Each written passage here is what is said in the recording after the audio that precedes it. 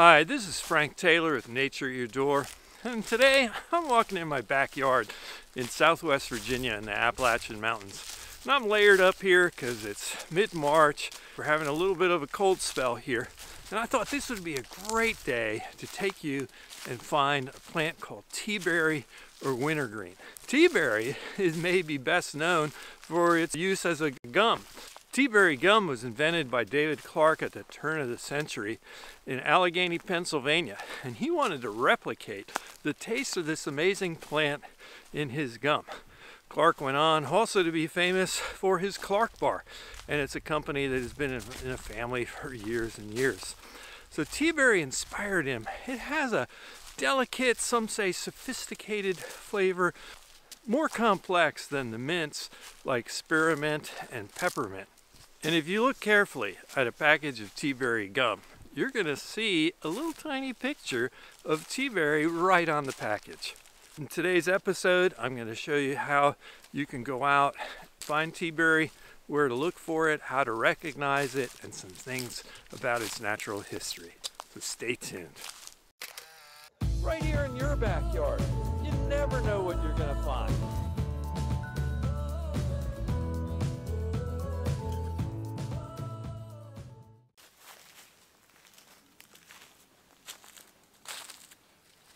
So how am I going to go about finding tea berry to show you today?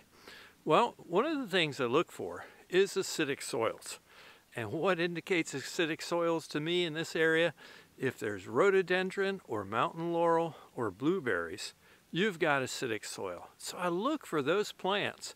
And if those plants are around, I'm pretty sure I'm going to find tea berry growing along the ground as a prostrate plant with thick green small leaves. The scientific name of wintergreen is Gaultheria procumbens.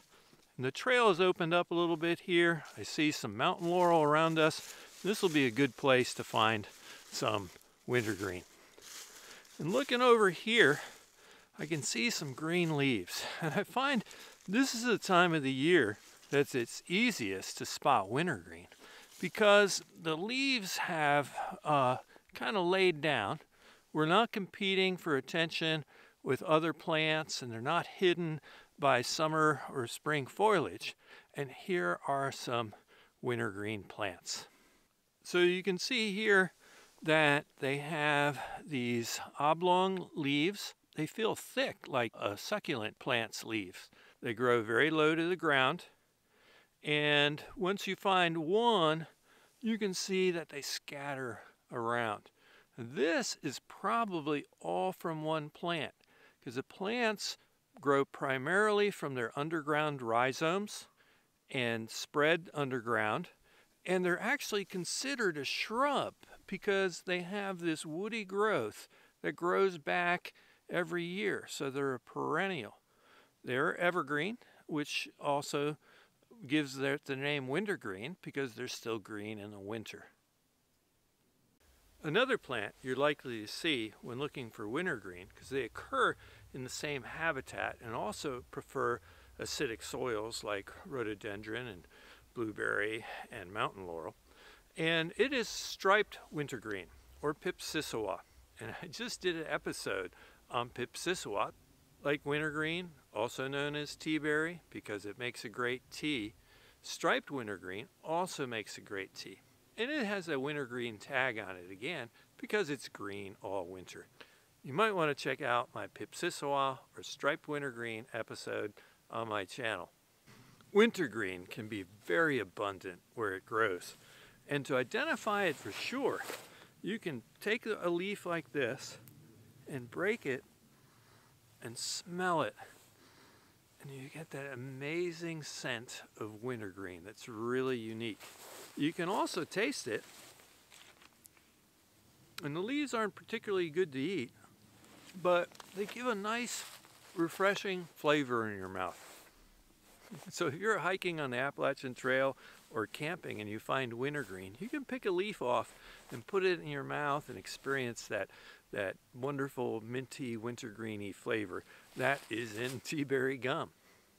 So you know, I always say, just like I do about mushrooms, there is as many toxic plants and mushrooms out there as there are edible ones. So be very, very careful what you choose.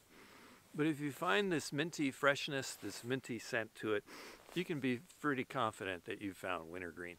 Another caution is that the active ingredient in wintergreen is wintergreen oil, which is methyl salicylate. And methyl salicylate is very similar in chemical structure to aspirin. So if you're allergic to aspirin, you're going to be allergic to this plant as well.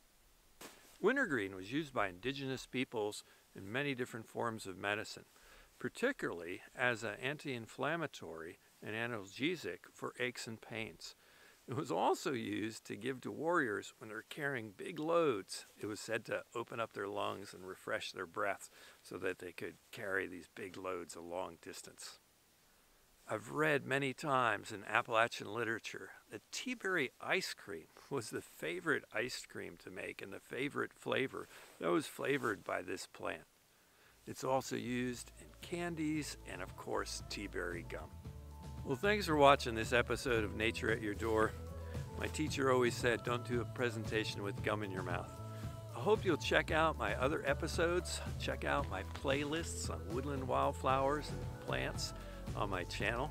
And if you like what I do, please subscribe and give me a like. And I love hearing comments from my viewers, and I'll answer back as soon as I can. So fire any questions you got for me.